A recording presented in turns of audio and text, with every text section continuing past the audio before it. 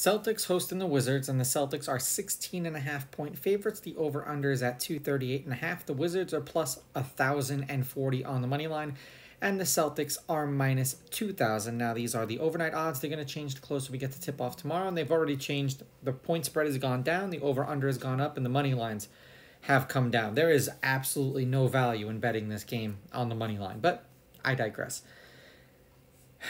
These teams played each other once this season, and the Celtics won that game in Washington 126 to 107. Head to head, the Celtics are 7 and 3, the home team 7 and 3. The favorite is 7 and 3 against the money uh, against the spread. The favorite is 8 and 2 on the money line. The over is hitting their last 3. The over under is 5 and 5 and the under at 238 and a half is 7 and 3. As far as the lineups are concerned, the Wizards input a lineup, the Celtics did not. It's supposed to be Poole, uh, Jones, Poole, Avdija, Kuzma, and Baldwin. And then, like I said, no one has been inputted for the Celtics. And neither one of these teams played tonight. So we'll see what that means for tomorrow, especially with Tatum being a game time decision. If he's a game time decision and they're 17 point favorites, that that's not looking so good for the Wizards. The Wizards are two and eight in their last 10, four and six against the spread. The under is eight and two in their last 10. They're on a four game losing streak. There was a total of 234, 212, 252, and then 220.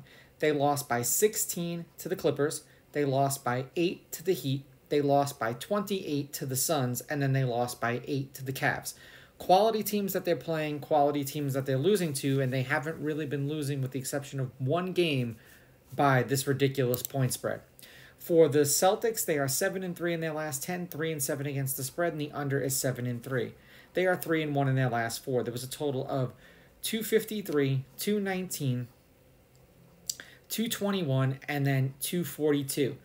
They beat the Pacers by 5, lost by 9 to the Lakers, then beat the Grizzlies by 40, and then beat the Hawks by 5. Uh, by 8. If Tatum plays, the Celtics win and cover. If Tatum does not play, I think that the Celtics win, but they don't cover.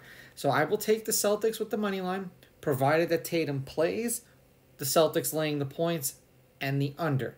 If Tatum does not play, Celtics, Wizards, under. Celtics with the money line, Wizards getting the points and the under. These are just my picks. If you disagree, please go with your gut and please bet responsibly.